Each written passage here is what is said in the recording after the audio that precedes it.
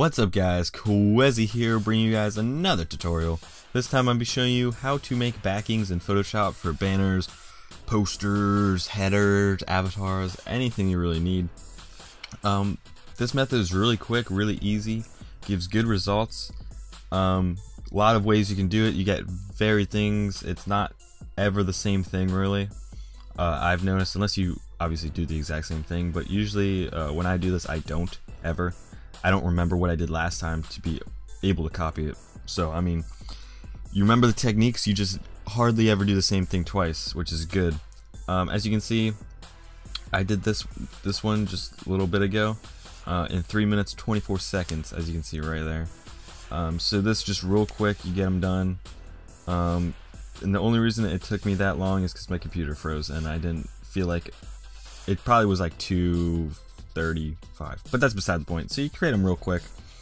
Um, and yeah so let's just get into this. Um, one thing I want you guys to do before you uh, or like after you watch this video or whenever is check out two other tutorials. Uh, one is SesO's tutorial. I clicked through this. Uh, he recently released this. Is pretty cool.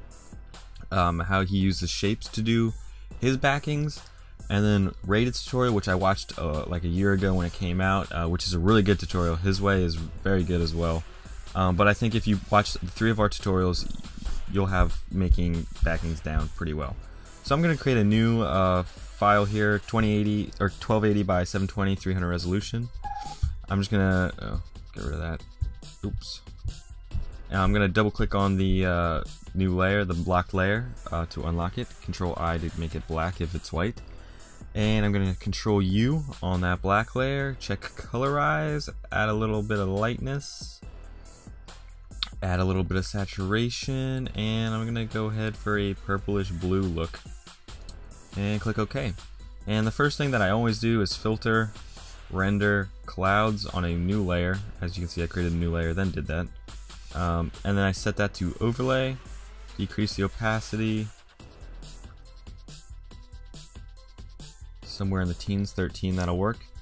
And yeah, then create a new layer, go to the brush, I don't want that brush, I want a soft brush at about 600 pixels in size, and make sure I'm on white, and I'm just to click in three spots, and set that to overlay decrease the opacity just a bit, not too much, just a bit, so maybe 90.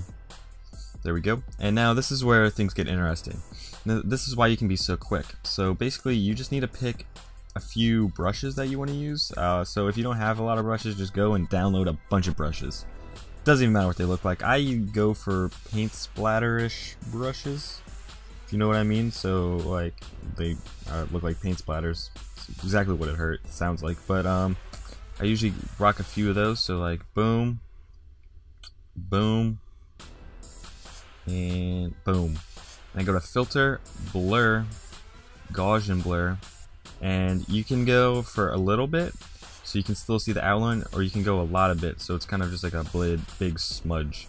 Uh, I like to go for a little bit so you can see the outlining, gives it some cool detail, and set it to overlay, and just decrease the opacity a bit or and like you can do this step multiple times and change opacities so you get varying results which is pretty cool um, and I'm gonna create a new layer and do it again with a different brush. So let's see what else we have. Um, not sure what would that this would be pretty cool. I'll go with it. Filter blur Gaussian blur. Yeah sure. Set that to overlay. And I'm just gonna erase parts of it. So like boom boom boom. Adds a little bit of texture here not much but it's pretty cool. I like it. And I just want a little more this time. Uh, I'm gonna add something that's less sharp. So maybe something like this. Decrease the opacity a bit. Oops. Or decrease the size and boom. Boom. Maybe a little bit there. Filter, blur, Gaussian blur, a little less, we'll go about 5. Okay, overlay, and we'll keep it like that. So, boom, texture.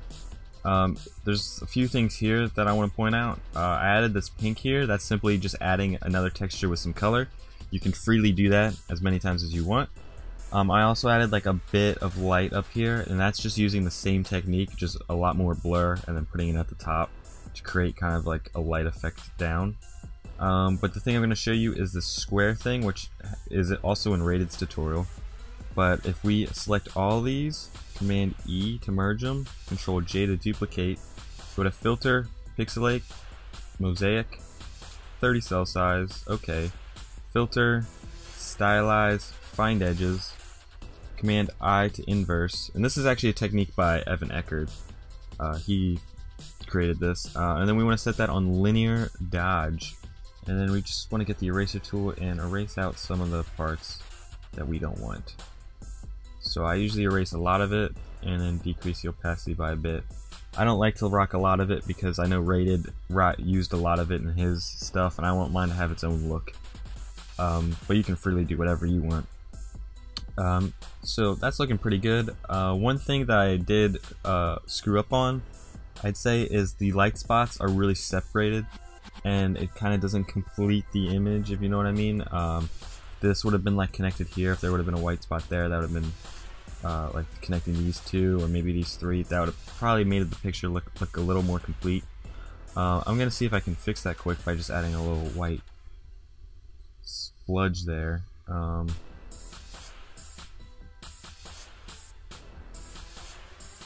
some like boom boom overlay and no, I'm not going to get anything I want. But that's not why I screwed up there. And obviously, since it's such a quick method, you can keep retrying if you screw up and just get various results. Uh, I've started to notice that I save most of the ones I make just in case I want to use them in the future. Um, but yeah, that's basically this whole tutorial. Like, I can. This one came out a lot better. If you notice, I have a few examples here from my free pack that I just released that are a lot better. And if you notice, one thing I I also did in these is added patterns uh, which is something you can do. Um, I think I have some patterns saved. So if I go here, pattern, see if I have one that's cool. Okay, this will work. Set that to overlay. And you can't really see it. Try a different one. This one's cool.